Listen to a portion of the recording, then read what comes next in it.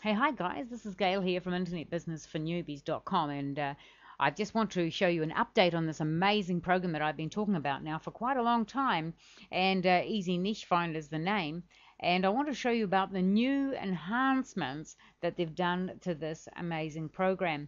So I'm just going to show you some things that you can do with it and uh, those of you who have been uh, my students will know that I talk about this program all the time. Now you need to get the latest update so you need to go to easynichefinder.com and uh, if you already own the program, you will see when you go into it, it'll come up and tell you a little red button and it'll tell you that you need to update. So you do need to go and do that because it's amazing. And uh, so let's just go through a few things. When you get onto the home page, you will be looking at a page that's just like this and uh, there's a few things that you might want to click on. Now, firstly, here I've got a little word that says Google, which is great. Now, if you um, see a flag there, you'll notice that uh, it could be any kind of flag, like I had Ghana up there for ages, and I couldn't work out how to change it. So um, up here, you'll see click here to show search options. So first thing you might want to change, and if you go in here and um, might want to select the uh, one that says default Google server. But the good news is that if you live in a particular country and you want to sell to a, something to a particular country or even a state, maybe or a country, you can pick it up in here and um, and just just advertise or just find out what the searches are in that particular place. So very cool. Um, and so just keep that in mind. That's where you find it up here and then you've got you can click on all these different things here if you want as well.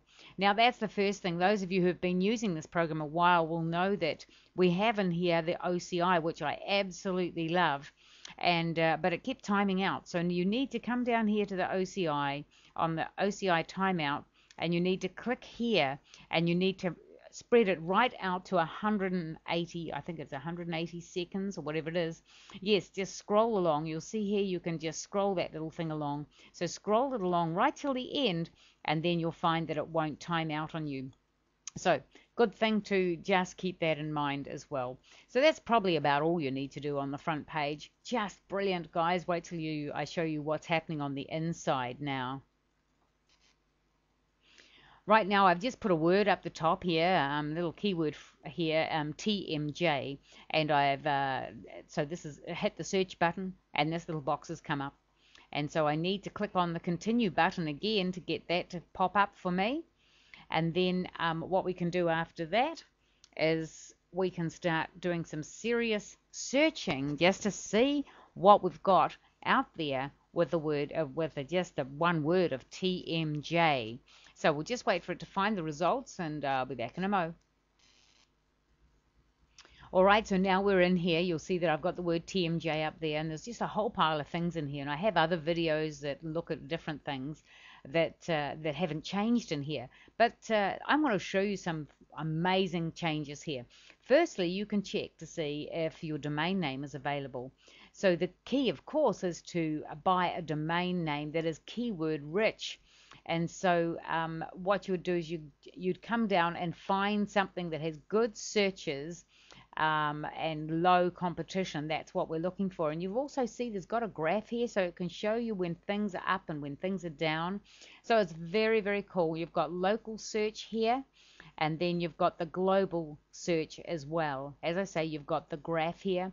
You've got the exact phrase count, um, the cost for the ad if you're going to do advertising, OCI, online customer intent, that is the likelihood of a person, say, putting about TMJ, it's the likelihood of them purchasing um, when they put that keyword phrase in, and SOC, strength of competition. So what I'm going to do is, uh, what you can do is uh, click on here and get everything in, in order, maybe uh, from the top to the bottom. So the most searched will be at the top, and so it'll go down that way. So 135,000 on dental or TMJ has got 110,000. Uh, global search is 90,000. But what we're looking for is get the exact phrase count. That is how many web pages are actually in there comp competing for that keyword phrase. And uh, so what I'm going to do, and I'm just going to go away and click on a few of these and then explain to you in a moment, just just because of time, um, what they all mean. So I'll be back in a moment. Alrighty, now I've been away and um, done a little bit of research and a little bit of searching here. Now what we're actually looking for is we're looking for little green buttons at the end here. And we're looking, uh, see the exact phrase count. This is kind of, this is, as I said, this is pages, people, um, web pages that have that exact phrase in their web page somewhere. So you can see that this one, dental, obviously, I mean, it's it's got a lot of uh, competition and a big red button, and so we wouldn't be looking at that one. Now we come down here to this one here, TMJ syndrome. Now you'll see here, what we've got here is two red X's and one green one. Now what that's telling you is that the um, TM, what is it called? TMJsyndrome.com is not available, and neither is TMJ uh, the .org, but the .net is available. So you could get TMJ Syndrome. Um, what is it? .org is it available? Um, .net, sorry, that's available. So this is a very handy tool, and all you need to do is just click on them like that, and they will come up and tell you what is available. And that's very cool feature. I really like that feature. So that's pretty cool. And uh, over here, you'll see that the OCI has uh, happened. That's online customer intent.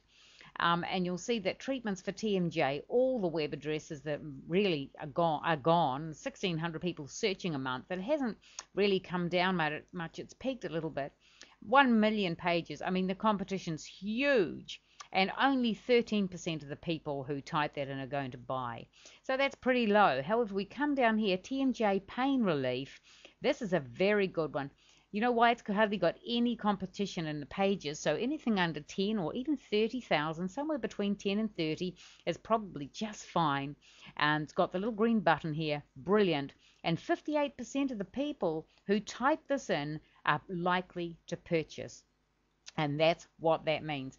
So that's a pretty cool feature, and I'm going to show you another cool feature or two on another video. But in the in the meantime, in the meantime, that's probably enough right up. It is a brilliant program. It's not too complicated. Some of the other ones out there are very complicated, very sophisticated.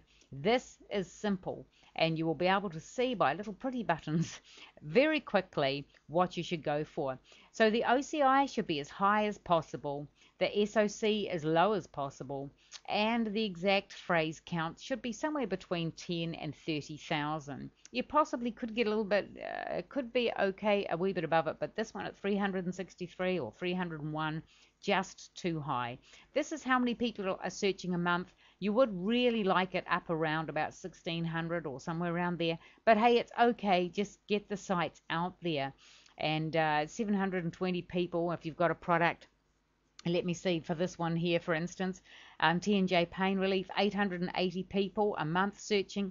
58% of those people are going to purchase. If you have a product around about uh, you're going to make $25 off that's not too bad if you can get some of that money. So that's it for now and I uh, hope you've enjoyed that. This is a great program easy niche finder. Have a great day. I'll catch you on the next video where I'll show you some more tips and tricks on this fabulous program